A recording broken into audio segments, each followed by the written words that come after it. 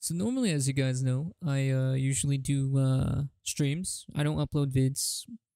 I mean, initially that was unintended what I'm doing, but um, to really get into details right now, actually, not to sidetrack. Um, currently, I am actually going to move right now, and uh, I kind of do have to put streaming on a pause right now. I don't really wish this was the case, as I do enjoy streaming and posting on TikTok from time to time and you know, all that stuff. Like, but because of circumstances right now, I do not have the ability to stream. I will probably have the ability to record, which I will most likely do in my case for a bit, as um I don't want you guys having zero content at all.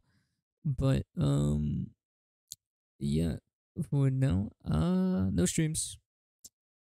Until who knows how long I guess, but I hope to see you guys soon.